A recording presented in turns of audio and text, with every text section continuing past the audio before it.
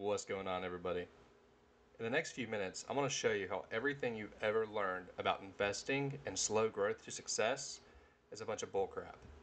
If you find a strategy that works for you, you can give yourself a trading edge and have gains that are exponentially higher than the typical buy and hold index and only get uh, around a 12% return every year. So a quick little strategy I'm going to show you is just reading option flow and how you can use option flow to give yourself a trading edge. So if you log on to the TradeUI site, you can click that link description below. It'll take you to the platform. We're going to do a quick little study on just how you can see option flow and how you can find trades based off that. Sorry I have the ticker pulled up, but I want to do this from the get-go. So if I start, I look for people asking, so that means they're buying the ask or they're entering positions. I'm going to look for stocks. I'm going to set a 90 days till expiration, and I'm going to look for trades of $100,000 or more. This is going to show me a list of stocks that are trading for $100,000 or more on the option sweeps. So after this data filters down, we're actually going to see PDD right here.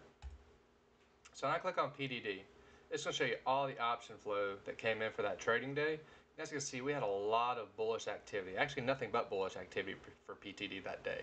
Only people buying positions.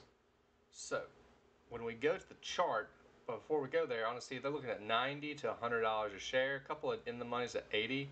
However, we see a lot of aggressive moves for 90 to 100 within the next 48 days.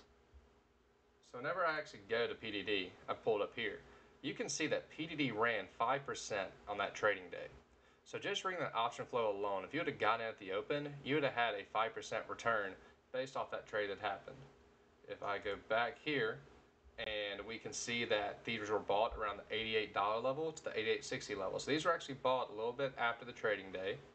So ignore these. These are from two days ago. These are from that trading day on Thursday. These are from that Friday.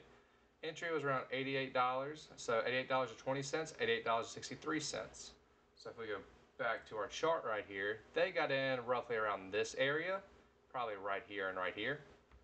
If you would have found that, you could have run some technical analysis, found an entry at 88, and you could have had a 5% return on the day. Now remember what I'm saying there, 5% in one day just by reading option flow. That drastically beats the S&P 500 every year because all you have to do is beat 12% a year. 12% a year is a little bit more than I think what it is actually 1% a month. So you could have took this one trade in a few minutes in one day of the trading month, and you could have already been on track to beating the S&P 500.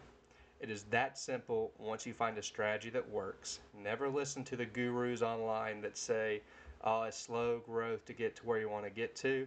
Once you find an edge, manipulate it and take advantage of it and do everything you can to maximize the efficiency of that edge. If you think TradeUI is a tool that you can use to get that edge, go ahead and click that link description below it'll take you to TradeUI site. Try out the trial and find that edge. And once you find it, go ahead and stick around as a member. We'd love to have you. We also have a Discord you can join where you get access to TradeUI's data. However, you get it from an area where you don't get to filter out the data, which we think is very important. Go ahead and check out the other videos we have out there. And at the end of the day, just go ahead and either give this video a like and go ahead and subscribe. If you know someone who can really benefit from hearing this, share this video with them as well because it really does help if we get this information out to everyone. Guys, I hope you have a great evening. We're going to end it here.